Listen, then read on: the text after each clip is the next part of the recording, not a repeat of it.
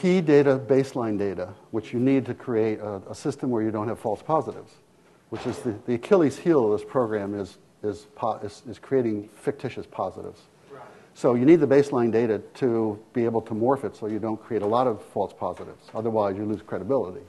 So there is baseline data that is taken in, and that we do capture by pulling it in.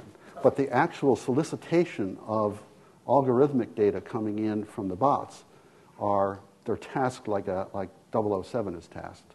You go out there, James Bond, and you find that guy and you get rid of him. In this case, we're sending out the bots to go find that needle in the haystack and bring it back to us. We want the, we want the evidence. Well, it's part of, the, part of our, uh, it's part of the genius of NC State and UNC and SAS, by the way.